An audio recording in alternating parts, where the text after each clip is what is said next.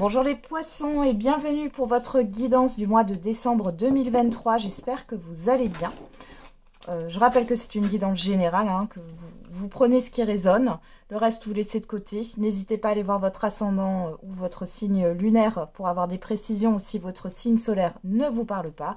Et je vous invite également à revoir cette vidéo au cours du mois de décembre. Allez, on va regarder tout de suite quelle est, quelle est la planète qui vous influence sur ce mois de décembre. Les poissons.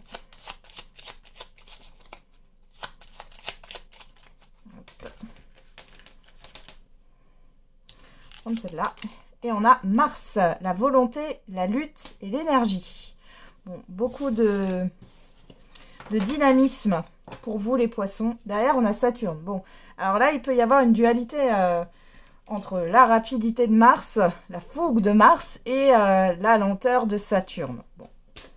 Allez, on va regarder quelles sont vos énergies, enfin l'énergie dominante pour votre mois de décembre.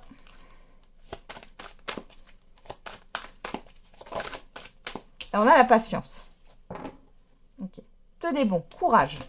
Bon, ici, c'est un mois on vous demande de garder votre calme, les poissons. Euh, on vous dit de ne pas abandonner, de ne pas baisser les bras. Euh, c'est un mois où les choses vont lentement. Malgré que vous ayez une forte énergie et vous avez envie que les choses bougent. Qu'est-ce qu'on a derrière? La vérité. C'est... Euh, les choses vont, vont bouger, mais pas encore sur ce mois de décembre. en tout cas, j'ai l'impression qu'il y a des choses qui sont un peu en stagnation. Mais on vous dit de tenir bon, d'accord, malgré tout. Euh, parce, que, parce que ça va porter ses fruits, tout simplement. Allez, on va regarder vos énergies générales. Allez, c'est parti. Avec quelle énergie vous entrez sur ce mois de décembre? La tempérance. Bon. Et l'as de bâton. Bon, la tempérance, signe de patience hein, aussi. Ici, on est vraiment sur le fait euh, d'y aller doucement. Euh, il y a effectivement cette histoire de nouveaux départs, de nouveaux projets, de nouveaux commencements, mais vous y allez doucement. Vous pesez le pour et le contre aussi peut-être. Hein. Il y a beaucoup d'échanges aussi. Bon, il y a beaucoup d'échanges aussi, de communication. On va regarder quel est le défi, le challenge à relever pour vous sur ce mois de décembre. L'As de denier. Le 10 de denier. Alors là, on me parle de, de concrétiser quelque chose, de croire en la finalité d'une concrétisation. Donc ça, c'est votre défi, votre challenge. Ouais, de croire que les choses peuvent se matérialiser là. Hmm. Pour d'autres, mais ça, ça par qu'à quelques personnes. Hein. Euh, on peut voir qu'il y a peut-être une énergie trop de lenteur. Euh, vous avez la motivation, vous avez... Euh, et ici, le défi, le challenge, c'est de concrétiser vos pensées finalement. De faire le premier pas. Mais c'est surtout de croire que ça va se concrétiser. Hein. J'ai surtout ça qui revient. Parce qu'on a quand même une énergie de lenteur sur votre mois. Hein. Alors, vers quelle énergie vous tendez sur la fin du mois de décembre?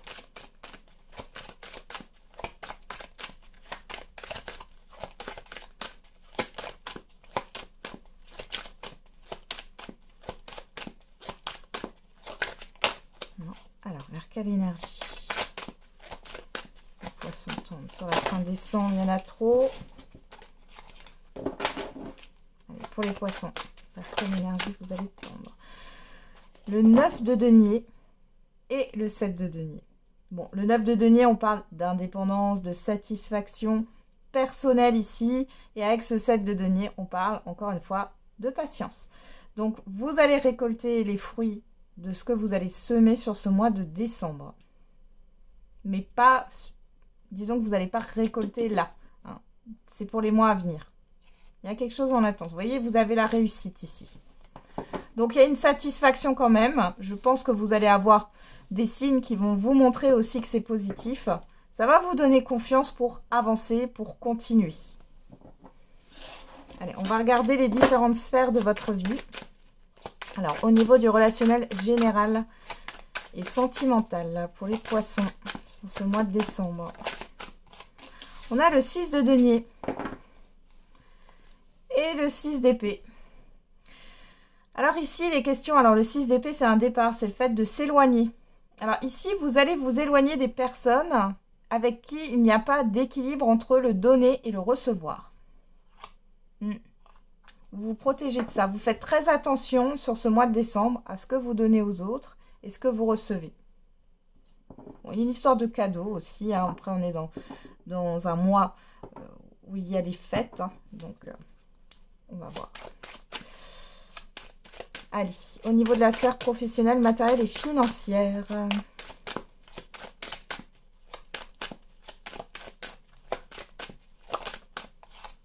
Ah ben, on a le 6 d'épée qui ressort.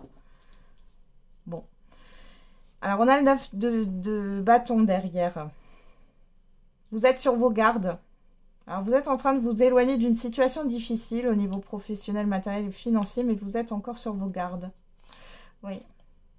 Il y a le 2 de bâton. Ici, il y a un choix à faire. On parle aussi de l'étranger, euh, d'une situation extérieure. Là, on a le monde, ouais. Alors, ça peut parler d'un voyage, d'un déplacement, d'un déménagement.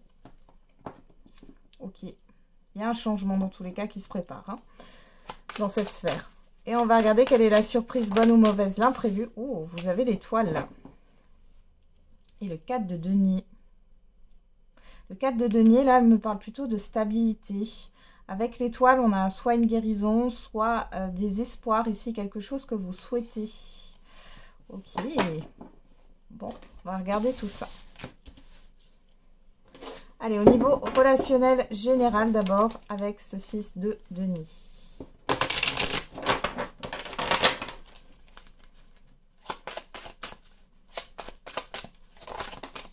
On a le voyage.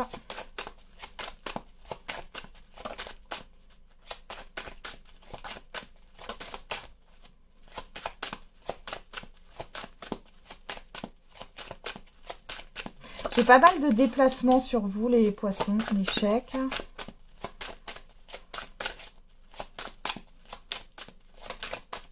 Sur ce mois de décembre, il y a certains poissons, là, vous allez, vous allez pas mal vous déplacer. C'est pas forcément des grands déplacements, mais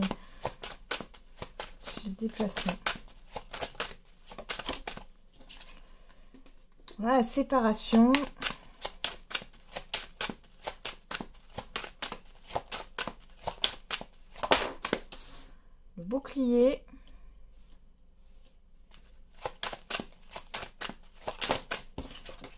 L'hérédité. Et le contrat. Alors, je regarde juste si vous voyez toutes les cartes, oui. Alors, derrière, on a la personne extérieure, la joie, la naissance, le verdict, la parole. Bon, on a quelque chose de plutôt bien. Une personne qui vous rend visite, ça vous met en joie ou qui vous annonce une bonne nouvelle ici. Hein, il, y a des, des rendez-vous euh, festifs ou des rendez-vous euh, qui sont positifs ici. Il y a vraiment une bonne nouvelle qui est annoncée. Oui, ça vous fait plaisir. Hein. célibataire, pourquoi pas, parce que j'ai l'amour, là il y a peut-être euh, un démarrage d'une nouvelle euh, relation sentimentale. Hein. On verra tout à l'heure dans le sentimental. Alors ici, qu'est-ce qu'on a? Bah, Vous allez prendre de la hauteur sur ce mois de décembre. Vous allez faire un peu votre petit espion, si je peux dire, mais pas dans le sens négatif. C'est-à-dire que vous allez prendre du recul par rapport aux personnes que vous côtoyez, qui gravitent autour de vous. On voit ici qu'il y a une déception. Alors, pour moi, c'est une personne ou des personnes qui vous déçoivent depuis un certain temps, où on voit qu'il y a quelque chose de négatif ou de lourd. Sur euh, ce mois de décembre, vous décidez euh, de mettre fin euh, à des relations qui durent depuis un certain temps. Hein. Ouais. Peu importe le domaine relationnel. Hein. Ici, on nous parle de rupture de contrat. Alors, pourquoi pas ici, carrément, la fin d'un emploi hein, pour certains et certaines d'entre vous. Euh, on voit ici qu'il y a quelque chose, vous allez devoir peut-être vous déplacer par rapport à une succession. Bon. Bon, c'est un, petit peu lourd, mais à la fin, on voit que vous, voilà, vous, décidez de, de couper certains engagements, certains liens. Alors, on a la chance, on a la culpabilité, on a la victoire. bah, vous arrivez à ce que vous souhaitez, c'est-à-dire vous faire respecter. La culpabilité, c'est plus euh, le fait que vous culpabilisez parce que ce sont des personnes que vous connaissez depuis longtemps. Euh, peut-être que vous avez pris un engagement depuis longtemps et du coup vous culpabilisez par rapport à ça. Mais ici, clairement, vous avez une opportunité là de, pouvoir couper les liens. On a la victoire. Alors si vous êtes en instance de divorce, pourquoi pas, hein, il y, a une réussite pour vous. Ok, vous faites, vous faites du ménage là. Hein. Ouais, c'est vraiment une victoire pour vous là. Hein. Ouais, il y a des rendez-vous par rapport à ça. Ok, on va voir au niveau sentimental maintenant.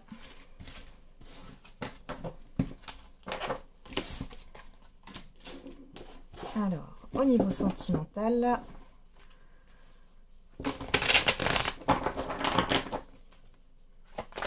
allez, pour les poissons, au sentimental, on a la guérison,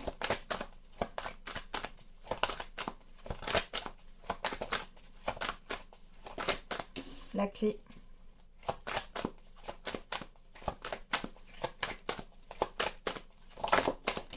L'invitation. Le papillon. La montagne.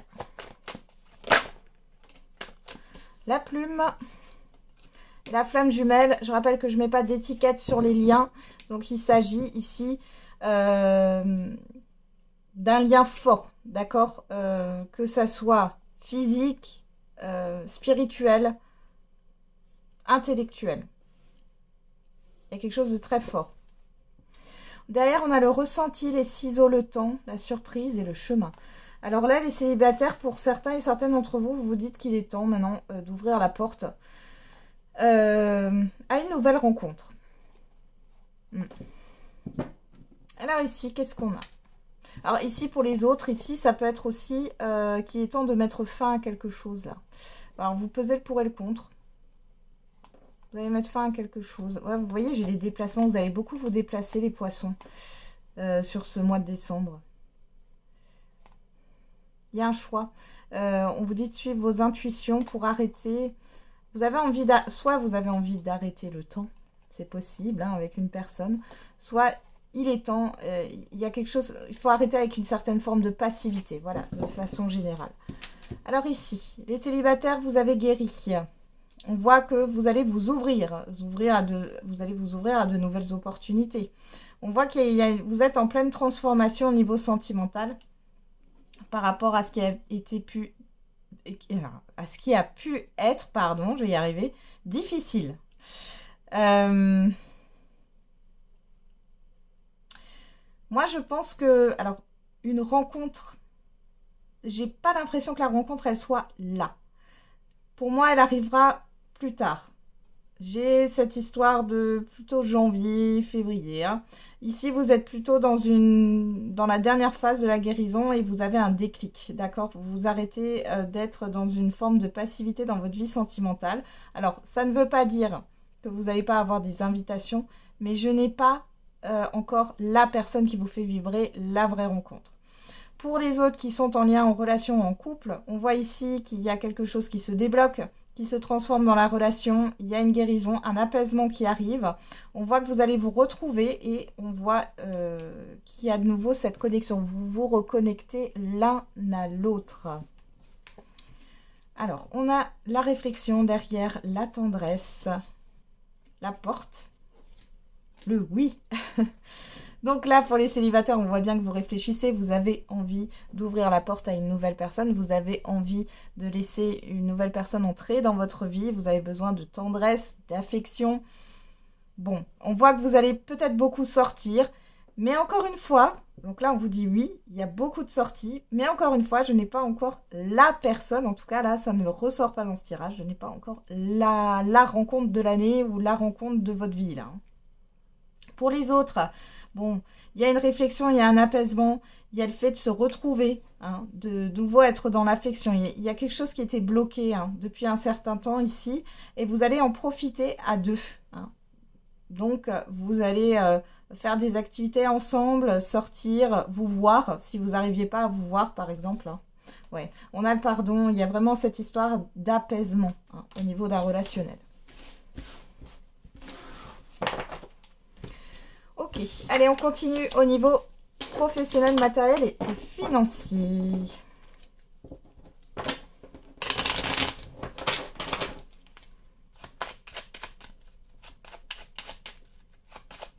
Allez, pour les poissons sur ce mois de décembre au niveau professionnel, matériel et financier. On a la famille, la réussite, l'instabilité.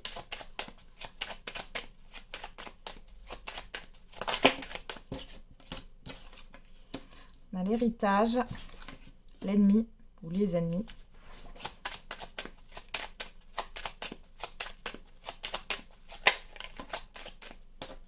on a l'élévation.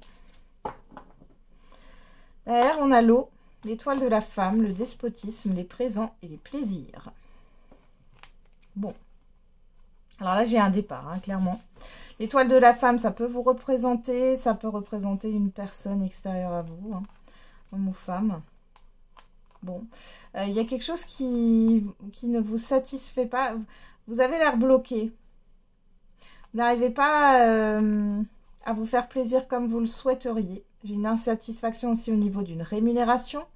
Euh, là, avec l'autre, vous avez envie d'ailleurs, là. De quelque chose qui vous stimule un peu plus. Alors, au niveau professionnel, bon, Déjà ici, il y a une sorte de reconnaissance par rapport à une... Si vous faites un travail en équipe, vous travaillez à plusieurs. Malgré tout, j'ai une certaine forme d'instabilité. Alors, on voit qu'il y a un stress parce qu'ici, euh, il y a peut-être des personnes autour de vous qui sont mal intentionnées ou vous avez peur qu'un schéma se répète qui a été négatif, que vous avez vécu au niveau professionnel. On vous dit qu'il y a une réussite de toute façon. Par rapport à cela, les choses vont avancer. Il y a une évolution pour vous. Mais on voit euh, qu'il y a un stress. Hein. Vous stressez par rapport à cela. Pour d'autres ici, vous allez quitter euh, un emploi qui ne vous convient plus. Euh, alors, on voit ici qu'il y a peut-être soit des horaires qui, sont, qui changent. ouais, ça peut être des horaires alternatifs, hein, on va appeler ça comme ça. soit à ce moment-là, il y a le fait de ne pas travailler à temps complet. Mais il y a une évolution par rapport à ça. Au niveau financier, bon, euh, ici, vous allez vous délester d'un poids. Il y a une réussite par rapport à des charges que vous aviez au niveau de la famille. Euh, ça peut être aussi au niveau euh, d'une succession. Ici, il y a la réussite dessus.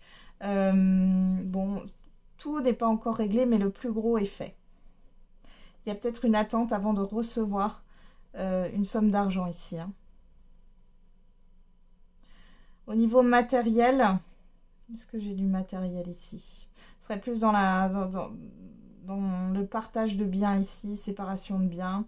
Euh, on voit qu'il y avait peut-être euh, euh, un petit désaccord ou des désaccords ici. Vous avez la réussite dessus. Hein.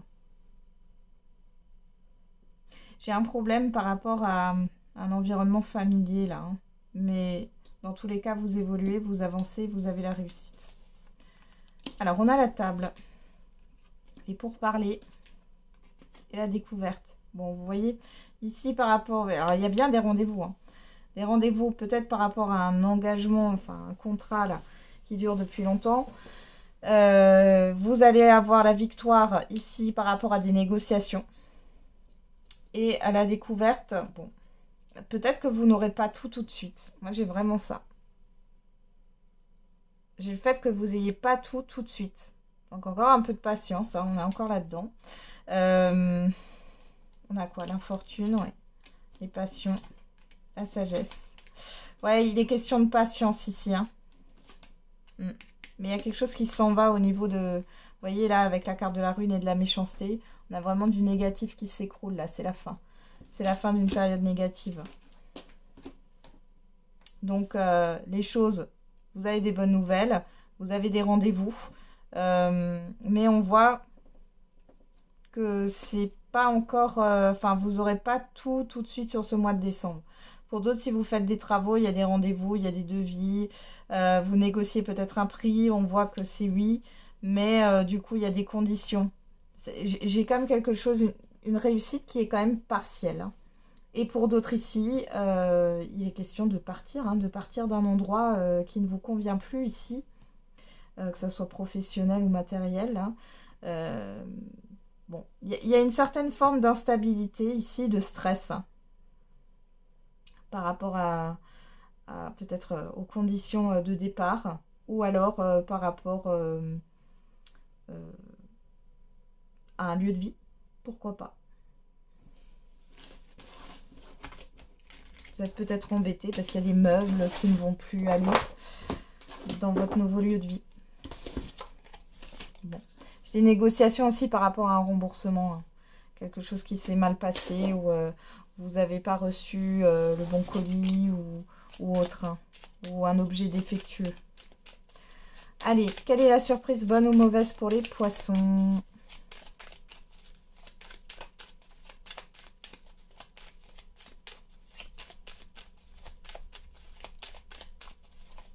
Je ressens un peu de frustration, les poissons. Mais ça, c'est parce que euh, vous avez de l'énergie sur ce... Vous êtes influencé par Mars. Hein. vous avez de l'énergie, vous avez de la volonté, vous avez envie d'avancer. Et puis, là, tout ne va pas aller euh, aussi vite que vous le pensez. Hein.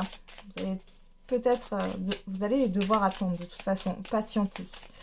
Allez, qu'est-ce qu'on a avec cette étoile pour la surprise, bonne ou mauvaise? L'imprévu. On a le bateau, on a la sagesse... Oh. Le retour. Bah, écoutez, on a un retour positif vers vous concernant soit un voyage qui va se concrétiser, un déplacement qui va se concrétiser, ou alors vous allez devoir vous déplacer pour pouvoir signer, officialiser quelque chose. Mais c'est positif et vous êtes protégé. Qu'est-ce qu'on a sur le nom? Le nom au printemps. Alors peut-être qu'il y a... On vous avait peut-être dit non sur le printemps. Et finalement, euh, il y a un retour, il y a un revirement de situation et c'est positif. Ouais. Ouais, ouais, il y a une signature là. Hmm. Et ça vous fait très plaisir les poissons. Et eh ben, et eh ben, on termine avec les portes de l'intuition.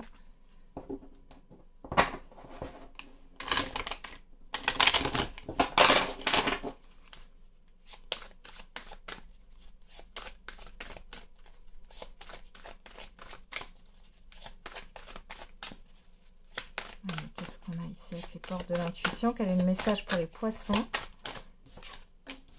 L'action. Soyez prêts à agir concrètement. Les difficultés auront tendance à s'évanouir. Et l'horloge, tiens, parce que j'allais me dire, j'allais vous dire là l'action, oui, enfin vous mettre en action, mais euh, avec cette carte de la patience et on avait Saturne au dos. C'est pas celle-là, c'est les, les signes. Saturne au dos ici. Bon, c'est compliqué. On a l'horloge. Du temps et une réelle volonté d'aboutir vous donne le résultat désiré. Donc ne baissez pas les bras, les poissons. Les choses, vont...